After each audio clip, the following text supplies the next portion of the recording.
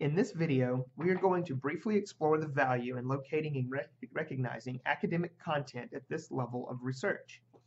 Being able to identify quality resources is a crucial part of the research process as you will be challenged to parse through a wealth of information, not only on the web, but in Salmon Library's databases as well.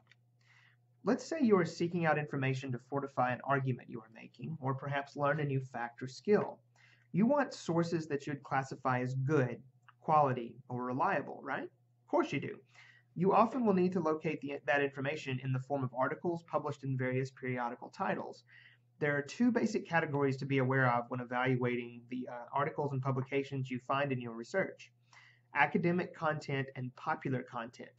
Instead of seeing information as simply good or bad, consider if the content you are reading has been fact checked by experts with soundly documented research methods, or if the content conveys information in a more editorialized format.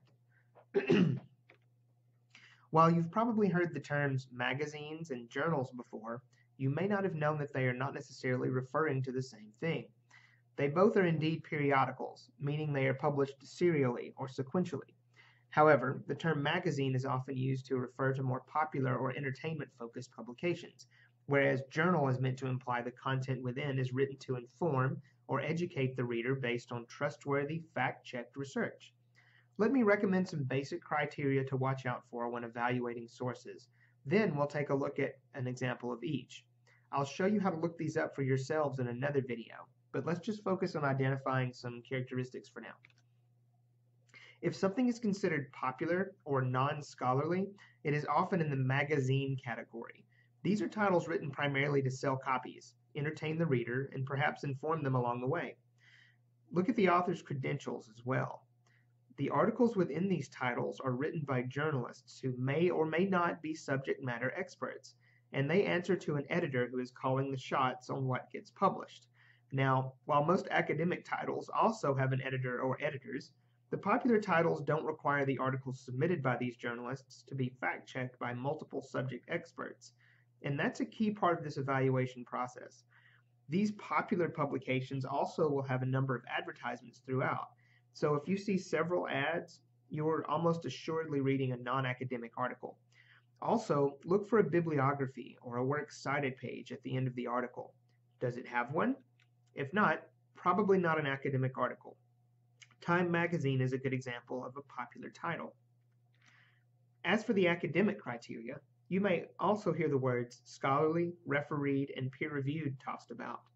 These all mean the same thing, i.e., scholarly articles indicate that this content has gone through an extensive review process before being accepted and published. You should not see any advertisements in these journals, as they are written to inform you about a topic rather than sell you a product. The authors of these articles should also be written by subject experts. So, while an editor may still be a part of the process, the articles have to pass the scrutiny of a handful of subject experts, typically university professors or researchers in that discipline, before being cleared to publish in that journal. Another thing to watch for is the format of the articles. For example, an academic article will often have a recognizable layout.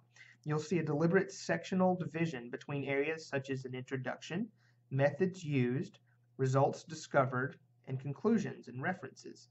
Uh, this will leave you a roadmap back to the sources they themselves used. While not always so tidily arranged, if you do see this format, you are likely headed in the right direction.